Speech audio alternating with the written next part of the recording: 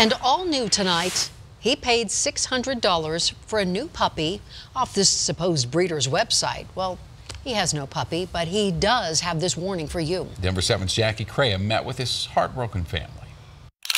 As soon as I saw Leah's face, I thought for sure, like, oh, this just, this puppy grabs your heart. Bree Madsen and her dad, Terry, have always loved labs. So when Terry saw nine week old oh. adorable Leah on this supposed breeder's website, greatretrievers.com, he knew she was the one. I would really like a purebred because I'd like to do some pheasant hunting as I get closer to retirement. Based in Texas with a reasonable price tag, $599, free shipping, ready to go.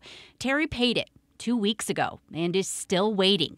He can't seem to reach the breeder anymore. Just couldn't get this puppy on the airplane. Things weren't going right. Bree decided to be sure and pretended to be someone else interested in adorable Leah. When I'm on the phone with a guy and he's telling me that Leah is still available, it took everything in me not to just break down and cry. We tried calling too and we started digging into these testimonials on the breeder website.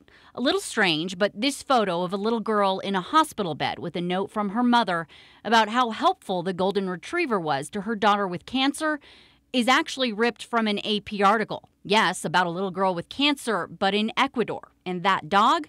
Well, it's a Cocker Spaniel. And this testimonial from Segan and Jeff the image is ripped from a Spanish website. Unless there's a good explanation, it seems like Leah might not make it to Colorado.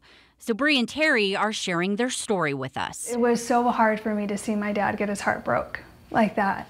And I just thought, if there was anything that would help this from happening to somebody else, I would be willing to do it. I don't want them to do this to another family. So there's an easy step to protect you and your family. Anyone that breeds dogs as pets is required to register and be licensed through the USDA. In fact, there's an online database that anybody can access, and lo and behold, Great Retrievers was not on there. We've also got more info, including how you can file a complaint on our website at thedenverchannel.com. I'm reporting live in the newsroom tonight. Jackie Crea, Denver 7. All right, Jackie, thank you.